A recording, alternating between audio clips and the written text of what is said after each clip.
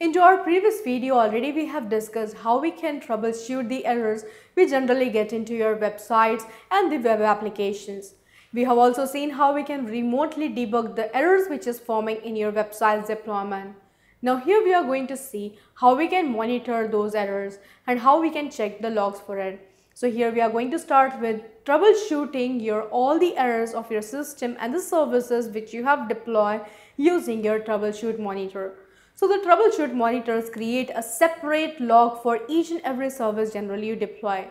As we know, if you are using an infrastructure, you have your systems connected or the servers connected which will be deploying your services and the clients at one end which will be accessing the services and you have a network in between. So here you can see these are the client applications, your rich clients, your mobile applications, your web applications are deployed over here. And these are the storage services where generally you have the storage of these applications into different storages like your blob storage, your queue storage, table storage and your file storage. And the network is there in between to connect between this particular resources. Now you can see along with this particular services you also have a monitoring log which is continuously monitoring this particular service and the devices connected over here.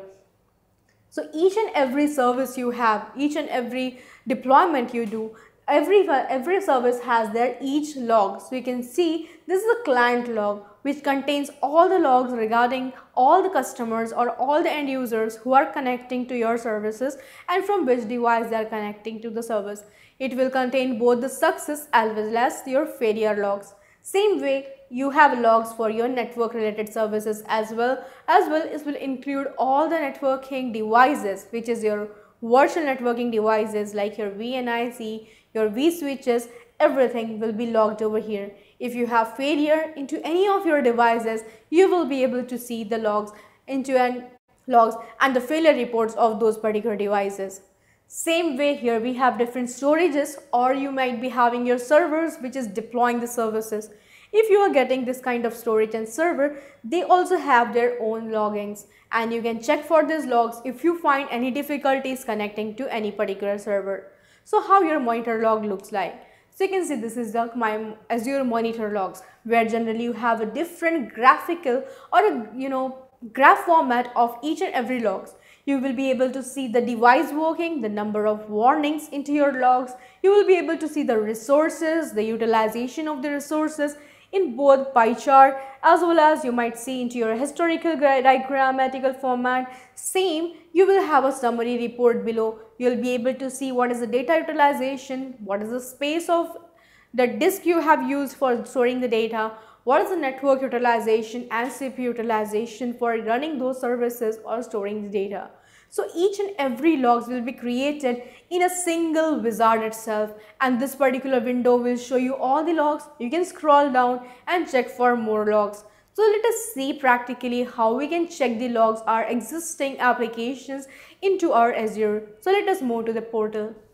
So we have seen how we can create our applications. We have created our mobile application. We have created our web applications and um, into your web applications uh, you can see if suppose you have a problem you can troubleshoot everything from here itself. So for troubleshooting you have different section into it into your web application itself. You can see here you have support and troubleshooting. So here you can check for your resources which you have connected the health of your resources over here. You can check for your application service advisor and also you can have a look on your new support request so once you click on resource health, it will check for all the resources you have connected for this particular applications and all the particular you know uh, triggers we have created which are the backend services you have defined over here.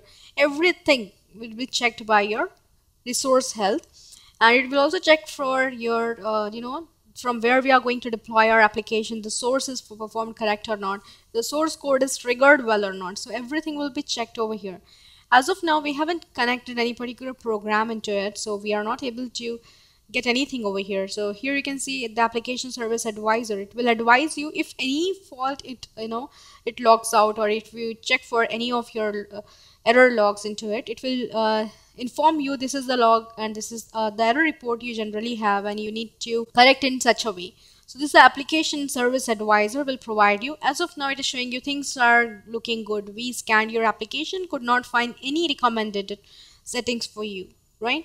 So uh, the health check is not finding available and so it is showing you available and the web app is running normally so there is no error into your web application which we have created.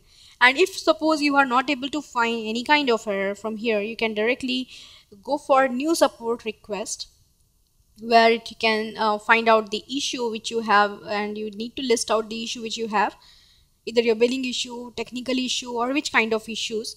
So once you have selected that issue you can uh, report this particular problem to your Microsoft and you can uh, provide your contact information so that your Microsoft contacts you along with the solution. So this is how generally we can troubleshoot your web applications into your Azure